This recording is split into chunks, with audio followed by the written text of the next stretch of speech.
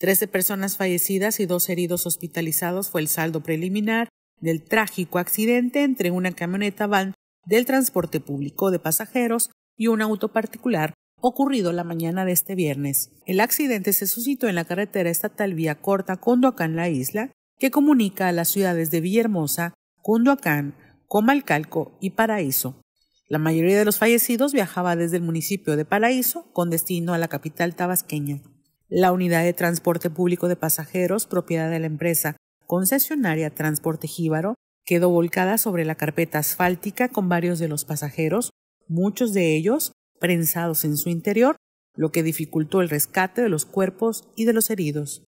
A este lugar acudieron familiares de los oxisos. Los gritos de dolor de las madres que habían perdido a sus hijos perpetraban más la herida de esta tragedia que ha enlutado a trece familias y a todo un estado. El otro vehículo involucrado, un sedán negro, quedó sobre la cuneta central de la carretera, también con personas fallecidas y prensadas. El tráfico sobre un sentido de la carretera Condocán Villahermosa quedó cerrado el tráfico y se habilitó el otro carril para ambos sentidos, con el tránsito lento durante varias horas por las labores de rescate y el trabajo de las autoridades de la Fiscalía General de Tabasco. Testigos y vecinos del lugar señalaron que la unidad de transporte público era conducida a exceso de velocidad.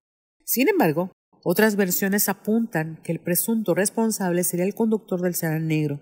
Ambas versiones aún no han sido corroboradas por las autoridades de la Fiscalía.